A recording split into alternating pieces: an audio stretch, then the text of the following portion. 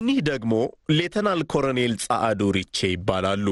የአቦይ ስብሃት ነጋ ባለቤት ሲሆኑ በጦር ኃይሎች comprehensive specialized ሆስፒታል በሕክምናው ዘርፍ ሲሰሩ የነበሩና በጡረታ የተሰናበቱ ከፍተኛ መኮንን ቢሆኑም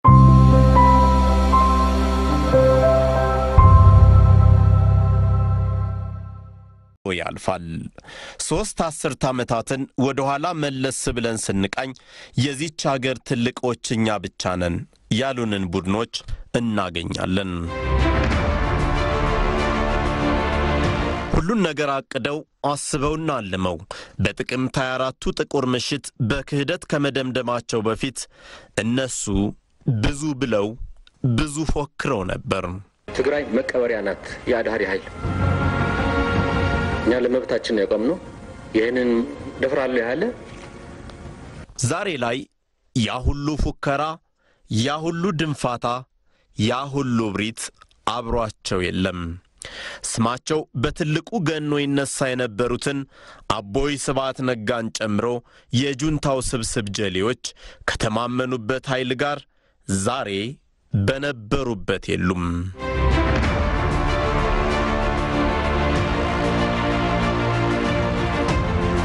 ሰውየው በዘመናቸው አድራጊ ፈጣሪ የመጠላለፍና የመጠፋፋት ሐሳብ ወጣኝ፣ ነገደኛም ሞገደኛም፣ ውል አልባ ሊቅ፣ መርህ አልባ ደቂቅ፣ ሿሚ ሻሪ፣ ሰጪ ነሺ፣ ጀማሪም ጨራሽም፣ ቢሮና ማኅተም የሌላቸው በሁሉም የደባ ጉዳዮች የማይታጡ ፊርማ አልባ ኃላፊ መሆናቸውም ይነገርላቸዋል።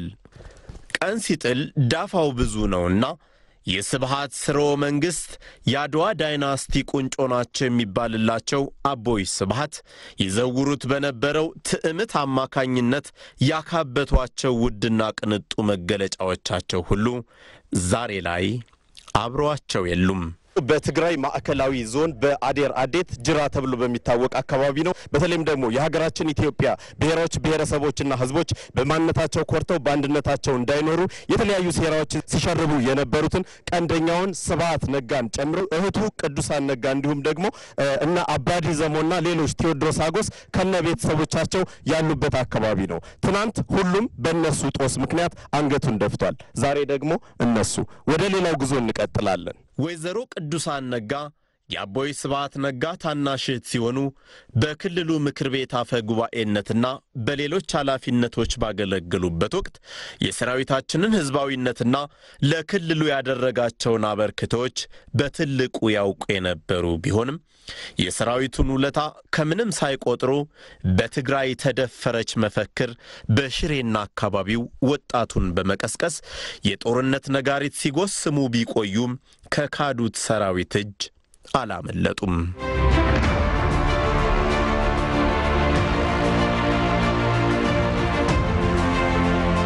እኒህ ደግሞ ሌተናል ኮሎኔል ጸአዱ ሪቼ ይባላሉ። የአቦይ ስብሃት ነጋ ባለቤት ሲሆኑ በጦር ኃይሎች comprehensive specialized ሆስፒታል በሕክምናው ዘርፍ ሲሰሩ የነበሩና በጡረታ የተሰናበቱ ከፍተኛ መኮንን ቢሆኑም በሰራዊቱ ውስጥ ተከብረው ኖረው ሰራዊቱን ቢያንቋሽሹም ሰራዊቱ ግን ከነ ቤተሰቦቻቸው ከተደበቁበት አውጥቶ ድጋፍና እንክብካቤ አልነፈጋቸውም።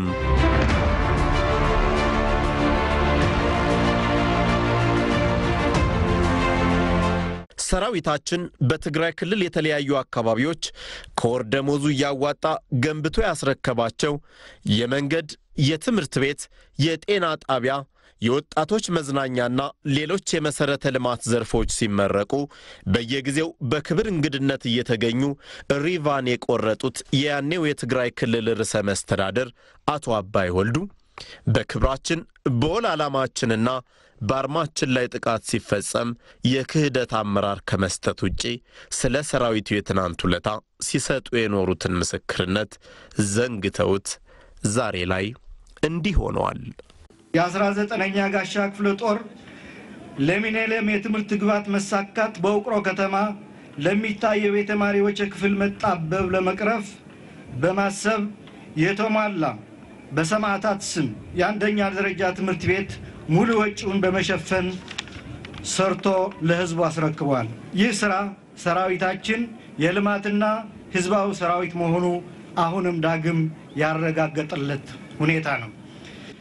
በየልሳኖቻቸው የሚዲያ ጦርነት ከማወጅ ጀምሮ ኢትዮጵያዊ ክብራችንን ታይቶም ተሰምቶም በማይታወቅ ሁኔታ ያዋረዱት ስብሃታውያን ያሰቡት ሁሉ አልሳካ ሲላቸው እሳት ለኩሰው ካበቁ በኋላ በድሎት በምቾትና በቅንጦት ከኖሩበት መዲናቸው ሸሽተው እንዴትና በምን አይነት ሁኔታ እንደገቡበት ለማመን በሚከብድ ሸለቆ ገደልና ጉድጓድ ውስጥ በመከላከያ ሰራዊታችንና በፌዴራል ፖሊስ የተጠናከረ አሰሳ በቁጥጥር ስር እየዋሉ ሲሆን ለሕግ አልገዛም ባሉት የጁንታው ከፍተኛ አመራሮች ላይም የማያዳግም እርምጃ ተወስዶባቸዋል። ከጥበቃዎቻቸው ጋር በነበረው ውጊያ አብረው የተደመሰሱ አንደኛ አቶ ስዩም መስፍን የቀድሞ የውጭ ጉዳይ ሚኒስትር የነበሩ በመጨረሻም ውጊያውን የመሩ ከውጊያው በፊትም ሰራዊቱ እንዳይደራጅ ሰራዊቱ ከአንድ ቦታ ወደ አንድ ቦታ እንዳይንቀሳቀስ በሚዲያ ሲደሰኩሩ የነበሩ አመራር ናቸው። ሁለተኛ አቶ አስመላሽ ወልደ ስላሴ የጁንታው ከፍተኛ የፖለቲካ አመራር የነበሩ። ሶስተኛው አቶ አባይ ፀሐዬ የጁንታው ከፍተኛ የፖለቲካ አመራር የነበሩ። አራተኛ የጥበቃቸው አዛዥ የነበረው ኮሎኔል ኪሮስ ሀጎስ ከመከላከያ የከዳ አብሮ ከነጥበቃዎቹ እና ከአመራሮቹ ጋር አብሮ በውጊያ ውስጥ ተደምስሰዋል። የኢፌድሪ መከላከያ ሰራዊት ከህዝባዊ ባህሪው የመነጨ ሩሩህ አዛኝና አሻጋሪ ኃይል ነው ሲባል ያለ ምክንያት አይደለም። ህወሓታውያን የጁንታ ስብስቦች ሰራዊቱን ከመውጋታቸው በፊት በሴራቸው አማካኝነት የሰራዊቱን ደሞዝ የወርቅ ቀለቡንና የሥራ ማስኬጃ በጀቱን ዘርፈው በማገት ያንገላቱት የነበረ ቢሆንም እነሱን ከተደበቁበት ተቸግረው ሲያገኛቸው ግን የያዙትን ድፍርስ ውሃ ደፍቶ ከኮዳው ንጹሕ ውሃ ጠጥቶ ካለው የዕለት ቀለብ ላይ ጠኔያቸውን አስታግሶ የቆሰሉትን አክሞ ጓዛቸውን ተሸክሞ የሱሳቸውን ማስታገሻ ሳይቀር ሳይነፍግ ከወደቁበት አንስቶ ያለውን ሁሉ አድርጎ የሰብአዊነት ልክን ያስመሰከረ ሰራዊት ነው።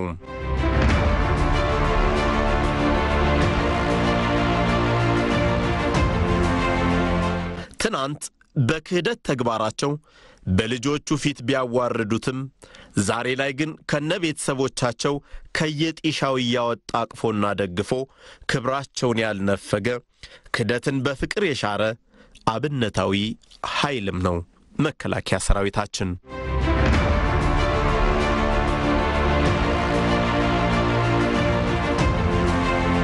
ማንኛውም ሰው ከሕግ በታች እንጂ ከሕግ በላይ አለመሆኑን የከሃዲያኑ አለቃ የሽብር መሐንዲስና የጥፋት አባት በሆነው አቦይ ስብዓት ነጋና ግብረ አበሮቻቸው የተረጋገጠ ሲሆን ከምንም በላይ ደግሞ ስልጣን፣ ሀብት፣ ዝናና ድሎት ቅጡን ሲያጣ እንዲህ ላልታሰበ ውርደት እንደሚዳርግ ለሁሉም ትምህርት የሚሆን በዘመናችን የተፈጸመ እውነትም አይተናል።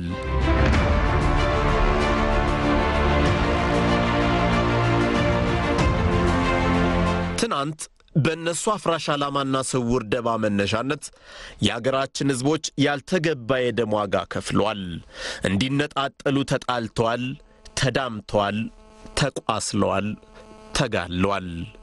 የምንታወቅባቸው እሴቶች ሁሉ ተሽረዋል፣ ተጋርደዋል፣ ተረስተዋል።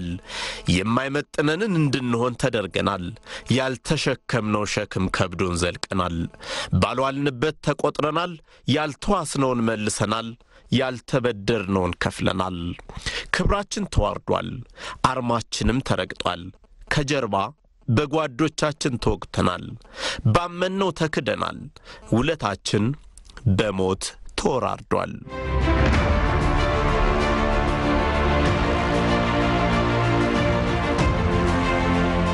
እነሱ ይቺ ሀገር እንጂ ኢትዮጵያ ሳይሉ የኖሩ የታሪክ ትምህርትን ለትውልዱ የነፈጉ ጥንታዊቷን ድንቅና ታሪካዊ አገር የአንድ መቶ ዓመት ብቻ ታሪክ እንዳላት አድርገው ያጠሩ የካራማራንና የአድዋን ድል ክብርና ድምቀት ነስተው የቀበሩ ናቸው።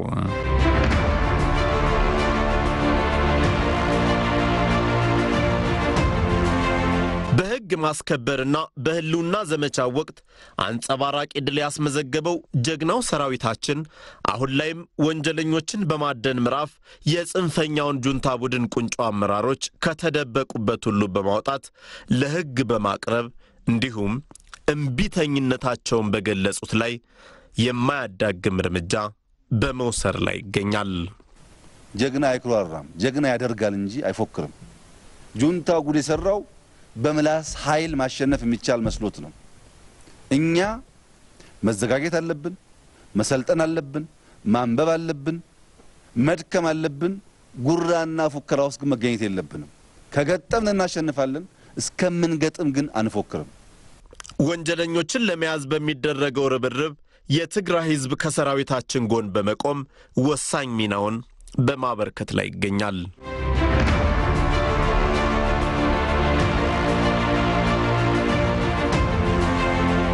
አሁን ላይ በየትኛውም መመዘኛ አንድ ዘመን የማይሽረው እውነት ተፈጽሟል።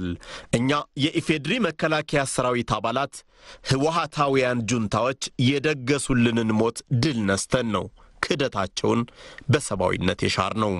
አዎ ክቡር ጠቅላይ ሚኒስትርና የጦር ኃይሎች ጠቅላይ አዛዥ ዶክተር አብይ አህመድ እንደተናገሩት እኛ እንፈተናለን፣ መሥዋዕትነት እንከፍላለን። ነገር ግን የኢትዮጵያን ዕጣ ፈንታ ብሩህ ከማድረግ የሚያግደን አንዳች ኃይል የለም።